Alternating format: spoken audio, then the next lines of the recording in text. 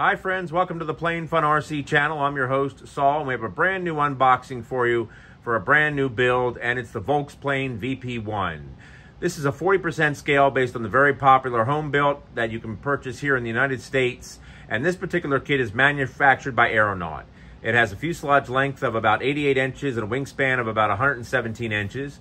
It'll use a 33cc gas motor on and on up we're going to be using brushless, doing a 65cc Outrunner motor.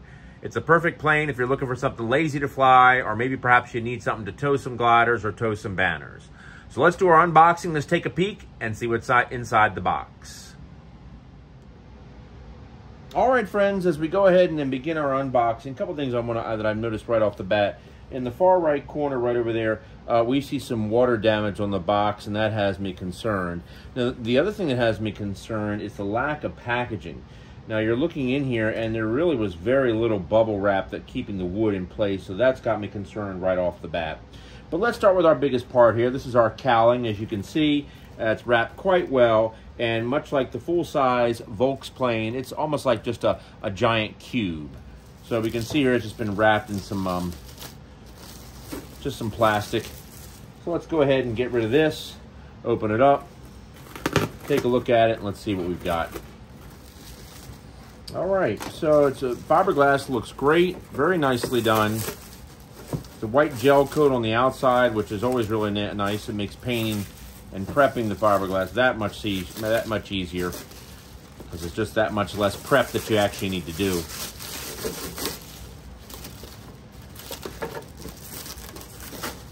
Very nice. All right, very good. Nicely made. All right, let's set that aside. Let's take a look at some of the other stuff we've got here. All right, we've got another large bag here with some bubble wrap around it. This one just has a nice rubber band on it, which will make things a little easier.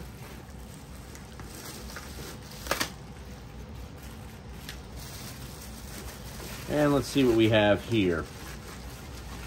So it looks like what we have is the turtle deck which is the part that goes behind the actual uh, cockpit. A little yellowed, but it's still a white gel coat, so no problem. Easily prepped.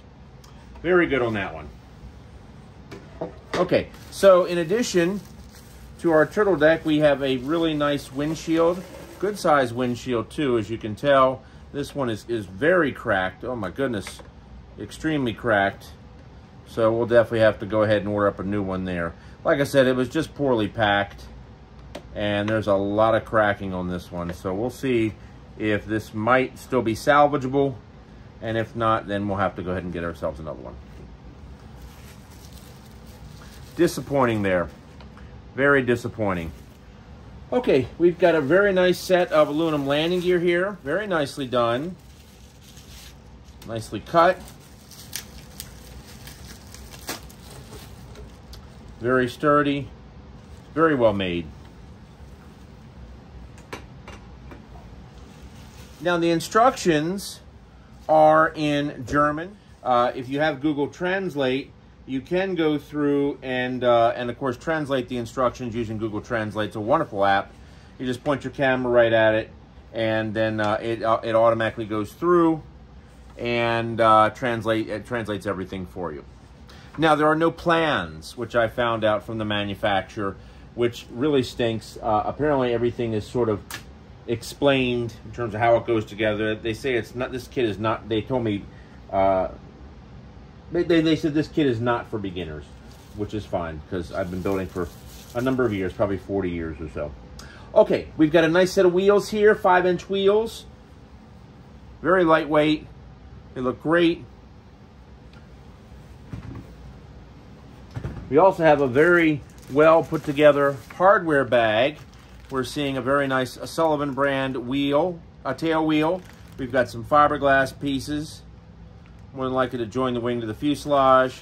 And we've got uh, fiberglass uh, uh, control horns and some dowels and lots of hardware. So this is a very nice uh, hardware bag. There's a hole in it, so hopefully nothing has gotten out and uh, been bent. Now I do see some fully threaded wire that is very bent. I'm hoping that is supposed to be that way, but more than likely based on the packaging, I doubt it. But that's okay. We'll get we'll straighten it out. No big deal. All right, so we've got some wood here, some uh, wood and aluminum pieces here. Nice pack. Some spruce.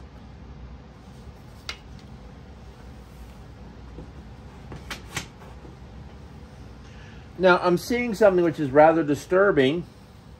I'm seeing a lot of broken pieces. As you can see here, we've got a nice broken piece and that's not good. And I'm sure that's due to the poor packaging. Now, it doesn't look like the laser cut parts themselves are broken, but if they were, it's no big deal. It looks like it's just the actual die uh, that, that it was cut, or, or the piece of wood that it was cut out of, the pieces were cut out of. So I think we should be okay, but we'll see what happens on, upon further examination. But uh, we've got a nice wood pack. Everything is laser cut, which, uh, which is fantastic. Very nice. And it looks like we've got parts that are labeled too, which is very helpful, as you can see. All right, we've got some more wood here.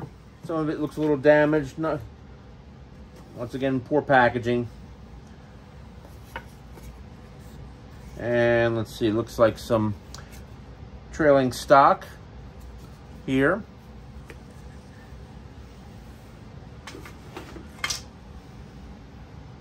In addition, uh, we also have a really nice carbon fiber rod. Now, what's so interesting about the Volksplane is that it doesn't have a rudder or an elevator. It's a full flying surface vertical stabilizer and full flying surface horizontal stabilizer. So with the vertical stabilizer, the rod, the actual rod itself, it passes through the ribs and the rod gets inserted into the fuselage, and this is actually what it pivots on. So this ought to be very interesting. Makes it a very unique plane because of that and some more broken pieces. Now we've got some more, uh, lots of spruce, lots of spruce here, as we can see. Spruce is wonderful wood to build with.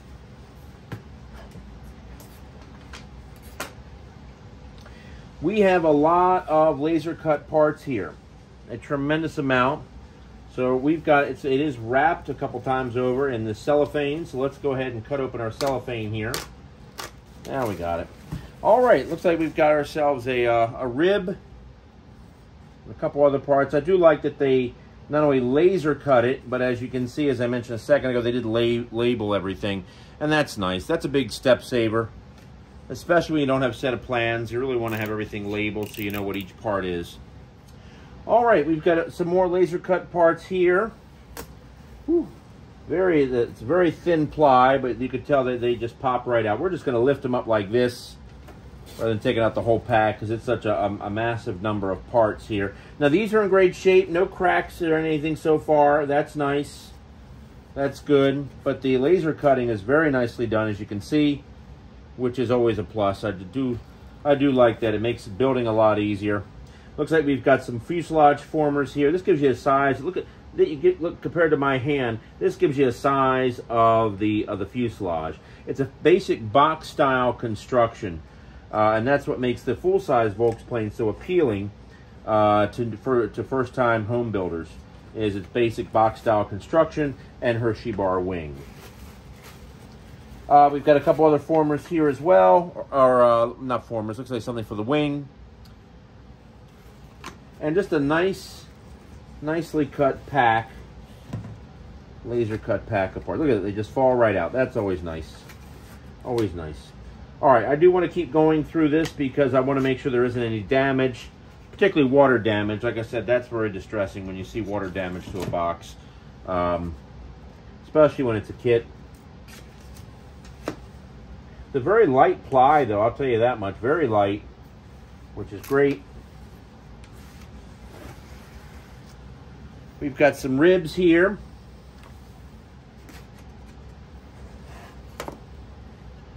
Some more formers for the fuse. Break it. Uh, and some more parts. Looks like fuselage parts. Let me shift these over a little bit so I can get these on the box. it because it's just getting a little difficult to maneuver as it's getting heavier. Okay, continuing with our unboxing. Like I said, we've got some fuselage pieces here. Tell by the general shape and the length. I don't think it's going to take that long to build this. I think I might be able to get it fully finished in about three months tops. We've got more ribs underneath. Okay, more ribs.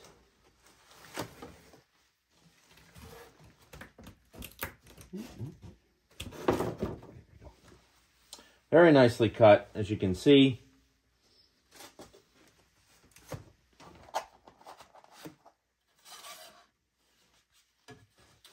And definitely more fuselage parts as well.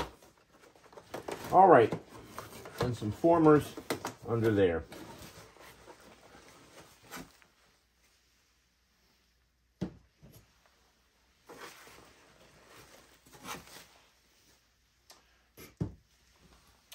All right.